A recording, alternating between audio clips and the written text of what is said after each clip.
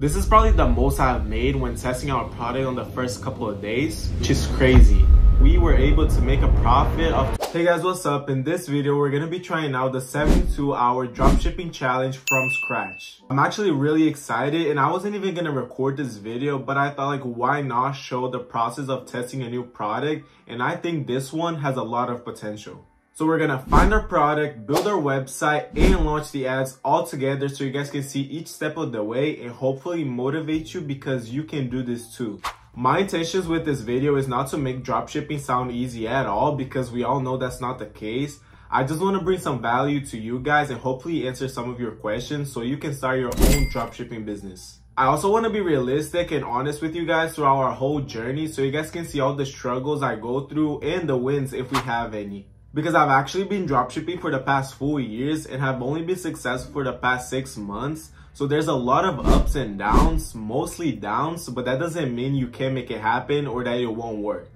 A lot of you guys are scared to even try dropshipping or any business model really, while there's others that are too scared to stop. Because I know for a fact that you see other people literally living your dream life, but the difference is that they took action. They probably failed too, but they weren't scared to actually try again. So no matter where you are in this journey, take the risk. Take a step towards your goals because you're gonna get there. Alright, so now let's get started with our challenge. I know I said we were gonna find our product together, but I actually found a product that I think has a lot of potential just by scrolling through TikTok. And the reason why I think there's a lot of potential with this product, it's basically because it solves a huge problem for many people. It's a posture corrector that literally fixes your posture and snatches your waist. So that's definitely the product I want to test for this challenge. I'm assuming you don't have your product picked yet, so I'm going to show you my way of finding my products. A lot of people already know about this, but not that many are talking about it. Alright, so I have my computer right in front of me, and what you want to do is go to TikTok um, Business Creative Center, and there you're literally gonna find a lot of products and ads from people literally advertising on TikTok. But as you can see, there's literally hundreds and hundreds of ads of people selling some kind of product. There's literally a bunch. What I really like about this is that you can actually play the ads and see which ones work, which ones perform better, and the ones that doesn't. And when you click the ad, um, there you're gonna see everything about this ad, where they're targeting, um, their objective, literally they provide you with their website. So you're basically getting free product lists, their website, their creative, and where they're targeting all for free. And don't get me wrong, this is not the only way. There's a lot more ways to find winning products, but this is a nice start for those that doesn't want to pay like spy tools or anything like that. All right, now that we have our product, the only thing left is building our website and then launching the ads. So now I'm gonna take a second to build our product page and then come back to show you guys what it looks like. Hey guys, I'm back and I literally built this product page so fast. It literally took me like 40 minutes. So now I'm going to be showing you guys what it looks like on my phone just because we're doing TikTok ads and most people use their phones anyways. The first thing we see are the product pictures which I literally edited them all on Canva which is free. You guys can use it. I try to brand this product as much as possible so I literally added my logo in every single picture. And I also made sure that they were really good quality picture that actually showed the product in a nice way. Scrolling down, we have the name, the price, and three key benefits on why the customer should buy this product. Like I said in my last video, you guys have to be careful with the amount of text you put in your product pages. People are not gonna read five paragraphs about the product because they already clicked on your website, they're already with the intention of buying, so you just need to give them a little bit more reasons why they should buy it. So just be careful with the amount of text you put in your product pages because people are not gonna read it, you're gonna waste your time and theirs, and you're probably not gonna get a conversion just because they're gonna be overwhelmed with the amount of text in your product page. Um, and then scrolling down here, we have the color, the size options. And I also put in the option of buying just one, or if they want to buy two and save 15%, I think that's the discount um, I applied. I put a little review under the add to cart button just because if people don't scroll down all the way, um, they can see a review at the top and they don't have to sc um, scroll all the way down. And then scrolling, you have what makes our product different. I just gave, an, again, three reasons, like really three short reasons why they should buy the product. You just need to give them a little extra push in order to purchase the product. And then scrolling down, I added the before and after pictures, which are really important in any product you're selling. You have to sell the result. People want to see how they're going to benefit from your product. So make sure to always add the before and after picture no matter what product you're selling. And then scrolling down, I just put some simple stuff just to show more credibility um, to our store. And then a gift showcasing the product and how it works. And then reviews. And that's it, guys. All right, we have our product. We built our website. Now it's time to launch these ads. All right, so I have my computer right here with the um, TikTok Ads Manager already open. Um, and I'm to show you guys what's the testing campaign strategy that I use when I'm testing out a product. The first thing you're gonna do is always choose websites conversions no matter what. I always choose website conversions. For the website, I mean, not the website, the campaign name, you just pick whatever you want really. I'm just gonna do CBO, which this campaign is gonna be a CBO. One testing strategy. Uh, actually, let's just put testing, that's fine. And then for the campaign budget optimization, you're gonna put 50 bucks and then press continue. When you get to this page, you don't really need to change the ad group name, I never do. And then for the optimization location, you just pick whatever pixel you're using. Uh, for placements, always do only TikTok. I don't even know the other ones really. So um, I can't really say much, but so I always pick TikTok. You're gonna turn off the user comment, video download, and video sharing. I don't really think it's worth it having them on, honestly. And then for the targeting, you're just gonna leave it blank. All right, now for budget and schedule, you're gonna schedule uh, for the next day at 6 a.m. That's what I'm doing right here. Um, and then for the bidding optimization, you're just gonna do conversions.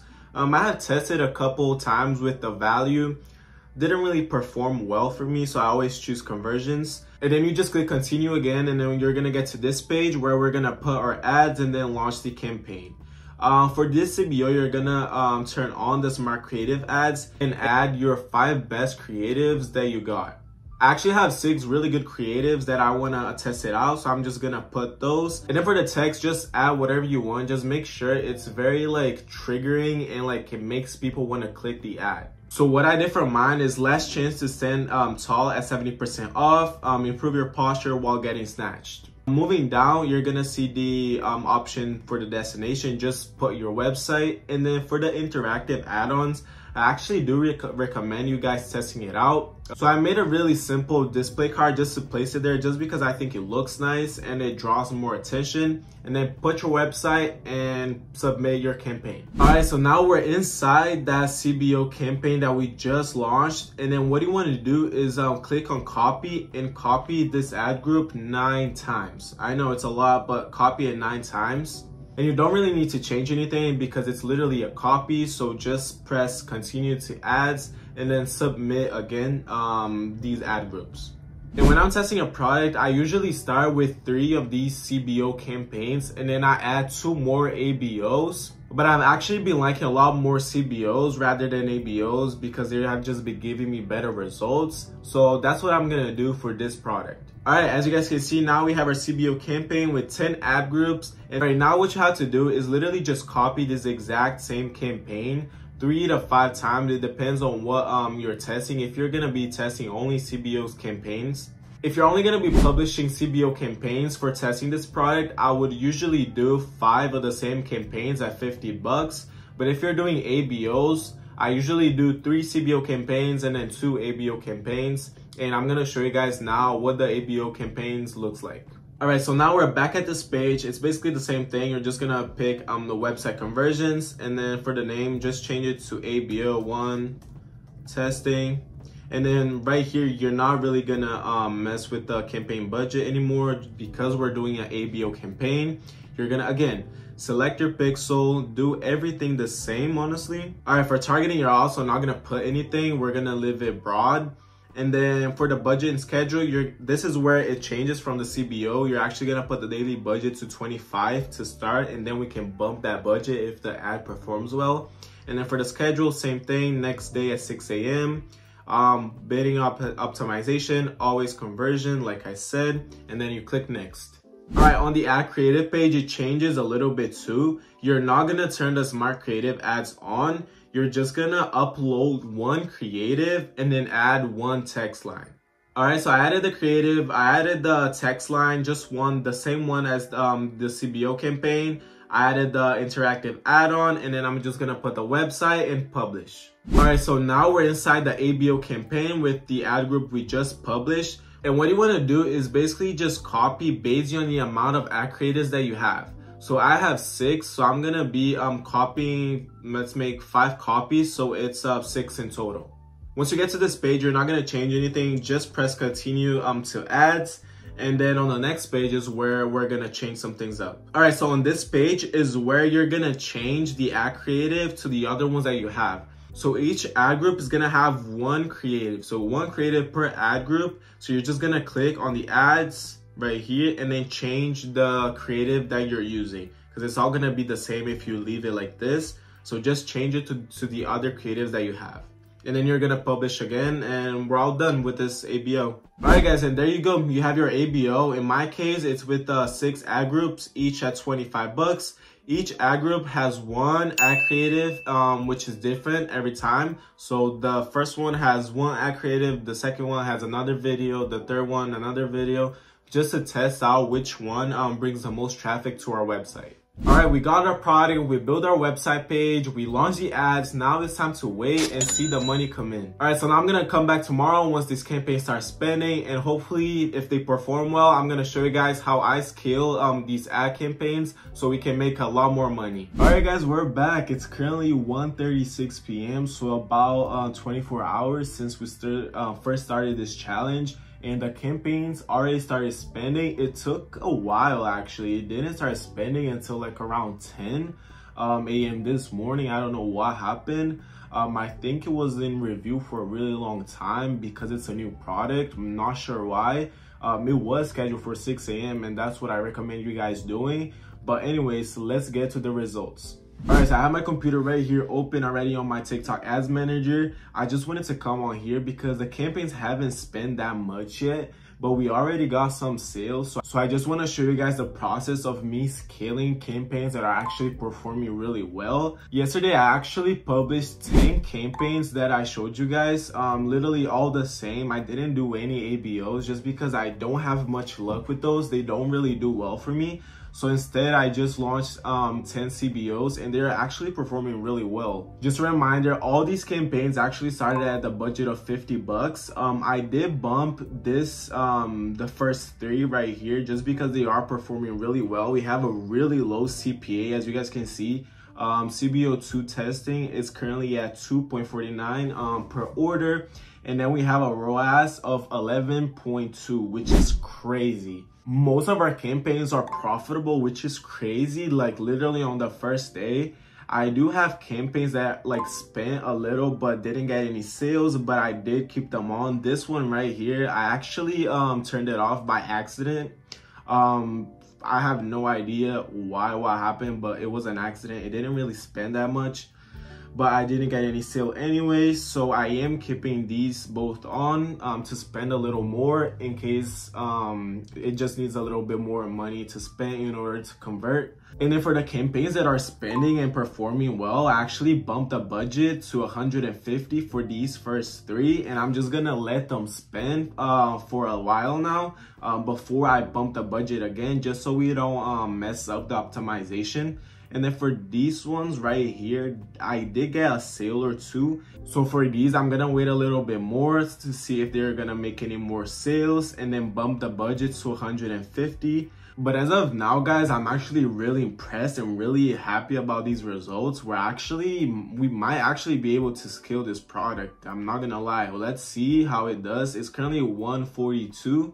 So we're just gonna see how this goes. Questions you guys may have is like, when do you know when to bump the budget? Personally, me, like this is my strategy and what I do. Like it might not work for everybody. But once I get like two to three sales and I see that like it has a really good ROAS and like the cost per click and like the the CTR are really good. I just bumped the budget because it means that the campaign is performing really well. And if you bump the budget, it's gonna show that campaign to um, a lot more people. And hopefully by bumping the budget, it's just gonna also increase the sales. So when you guys do bump the budget, it is important for you guys to just let it spend a little bit. And to be honest, I think I bumped this campaigns a little early. I think I should have let it spend a little bit more, but that's just because our the CPAs are actually really good. So I just bumped the budget and we're gonna see how it spends. I'm gonna let these spend for a while now. And what I would do now, I actually did it already. I started to make more campaigns of the same one. I actually published another 10 and I'm just gonna let these spin. Um, also, just like the other ones, and if they um, perform well, I'm gonna bump the budget and then just gonna keep that um, cycle going. So what you guys always wanna do, if you see that a campaign is working, always, always, always just copy that same exact campaign multiple times. The more campaigns you have, more sales you're gonna get if the campaign spin well. So always just keep, keep, keep um, copy and pasting all of these campaigns so you actually get um, campaigns that are performing well and the ones that aren't, you just turn them off. And that's what I'm gonna be doing for the rest of the day. To be honest, I'm gonna just keep bumping the budget um, for the ones that are performing really well. And then for the ones that aren't, I'm just gonna um, turn that campaign off and then keep making new ones. And for tomorrow, the plan is basically the same. We're just gonna see what ad creatives actually perform well and is driving traffic to our website and with that, we're just gonna create a lot more campaigns with those creatives so we can scale even harder. All right, guys, I'm back and I'm finally here to give you guys an update on our challenge. And unfortunately, it didn't go as planned. And eh, that's no good. So on the day the campaigns were launched at 6 a.m., it was actually my sister's birthday and I had a lot of planning to do. I was actually really busy, so I didn't really have much time to be checking the ads and creating new campaigns. So I just let the campaign spin and not really give much attention and bumping the budget. And that's probably why when I checked at the end of the day, most of the campaigns were actually dying. Which just means it wasn't performing really well and probably because I wasn't bumping the budget throughout the day. So what I did was actually just turn off those campaigns and then make new ones, the exact same ones scheduled for 6 a.m. in the next day. And then on the final day of the challenge, the last day we had to run ads, I actually got a text from my supplier saying that they weren't to accept any more orders because of the Chinese New Year. And because during that time, everything closes in China, like the factories won't process and ship out any more of the orders. And because of that, I couldn't accept any more orders. So I had to turn off the ads immediately. And that actually really sucked because we were literally killing that day. The ads were performing super well and we were actually going to be able to scale on the final day of the challenge. Ah! But like I said, when I saw the text, I had to immediately just stop running the ads because then I was just gonna get in trouble and there's like no point of accepting orders if I'm not gonna ship them out. But that's okay, we did finish the challenge a little earlier than expected, but I'm here to show you guys the results. And believe it or not, we were actually profitable both days, both day one and two, which is crazy. Because like I said, dropshipping is not as easy as many people think. And for me to just be profitable on the first two days of the challenge was actually crazy to me. Because usually when I'm testing out a product that I feel like has potential of scaling, I'm usually on the negative side on the first couple of days or breaking even. And to see profits like this literally on the first two days of testing out this product just means that this product has a lot of potential. Alright, so I have my computer right here in front of me and I'm gonna screen record and show you guys the results. Alright, so we did run the campaigns from the 20th to the 21st um, that's the day we actually had to turn off the campaigns a little earlier. And we actually made almost $5,000 in sales in two days.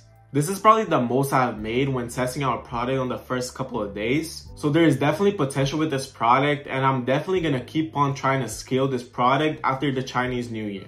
Alright, but we all know that 5K is not what I'm gonna be taking home. So let's break down the cost and to actually see our profit. Alright, so time for the truth. We did $4,985.21 in sales. Um, I had to pay to my supplier $1,440, leaving us with $3,545.21. And now for the ad spend, we actually spent $2,343.13, leaving us with a profit of $1,202 and 8 cents. So for this 72 hour dropshipping challenge that we actually had to stop a little earlier, we were able to make a profit of $1,200. And like I said, guys, I'm not trying to make dropshipping sound easy and promising you that you're to get these results in literally two days. I try to be completely honest and realistic throughout this whole journey so you guys can see my testing strategy. And this really just means that this was a really good product, that my website looked good, and my ad strategies was also good.